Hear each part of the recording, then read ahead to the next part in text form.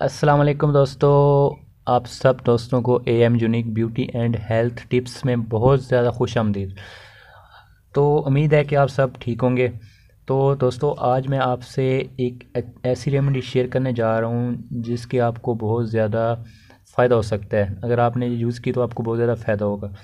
तो मेरे पास दोस्तों ने मुझे कहा कि आप कुछ ऐसी वीडियो बनाएँ, कुछ ऐसी रेमेडी बनाएँ, जिससे हमारे दाने ख़त्म हो जाएँ। और दानों के बाद हमारे जो दाग होते हैं मतलब हमारे स्किन पे जो दाग हैं, वो ख़त्म नहीं हो रहे तो उस पर भी कोई बनाओ। तो मैंने सोचा एक ऐसी रेमेडी बनाता हूँ, जो दाने भी ख़त्म करने वाली हो, और आपकी स्किन पे जो दाग वगैरह होते हैं, दानों के, वो भी ख़त्म कर दे।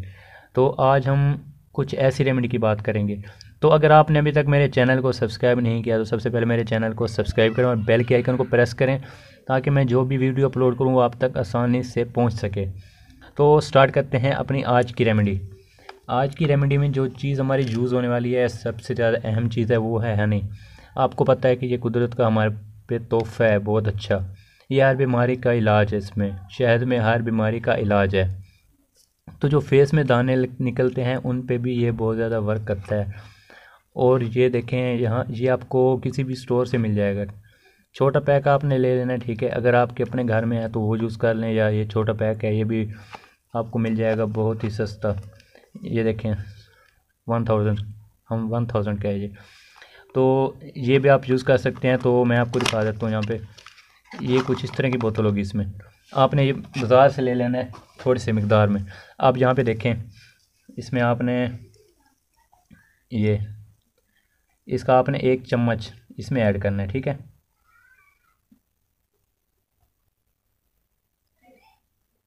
ये देखें दोस्तों। शहद का एक चम्मच आपने इसमें ऐड कर देना है। उसके बाद ये शहद जो होता है, ये हमारे स्किन को बहुत ज़्यादा फ़ायदा देता है। हमारे जो दाने वगैरह होते हैं स्किन को साफ़ करता है, नरम मुलायम करता है और इसके अलावा बहुत सी ऐसी बीमारियाँ स्किन पे जिनका ये ये इस शहद से इलाज होता है। ये देखें दोस्तों, यहाँ पे शायद इस तरह हो जाएगा। तो अब हम इसको ऐसे तो लगा नहीं सकते, इसमें कुछ ऐसी भी चीज़ मिक्स करनी होगी जिससे ये थोड़ा सा पतला हो जाए और हम स्किन पे सुकून से लगा सकें। तो उसके लिए हम यूज़ करेंगे अर के गुलाब। अर के गुलाब का भी आपको पता होगा कि स्किन के लिए कितना अहम होता है। ये बहुत ही ज़्यादा अहम होता है। ये हर रेमेडी में तकरीबन यूज़ होता है अर के गुलाब। तो आपने इसमें एक चम्मच इसका ऐड कर देना है। एक चम्मच आपने इसमें, इसका आपने, ये देखें दोस्तों, यहाँ पे एक चम्मच आपने इसमें ऐड कर देना है इसके अंदर। तो आप देखें दोस्तों, ये ना बहुत ही अच्छी प्यारी सी रेमेडी बन गई है। अब ये जो है, आप स्किन पे भी लगा सकते हैं सुकून से।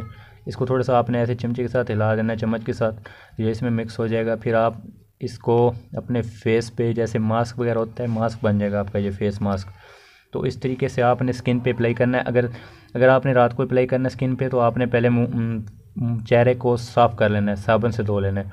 उसके बाद आपने इसको दस मिनट तक लगाना है, उसके बाद अपने चेहरे को धो लेना है। तो इससे आपको एक हफ़्ते के अंदर आपके दाने भी ख़त्म हो जाएँगे और आप इसके बाद जो आपके निशान होंगे दानों के, वो भी ख़त्म हो जाएँगे। तो दोस्तों, उम्मीद करता हूँ आपको मेरी वीडियो अच्छी लगी होगी। तो अच्छी लगी हो तो चैनल को ज़रूर सब्सक्राइब करना और बेल के आइकन को ज़रूर प्रेस करना। तो मिलते हैं नेक्स्ट वीडियो में, तब तक के लिए अपना ख्याल रखना। अल्लाह हाफ़िज़।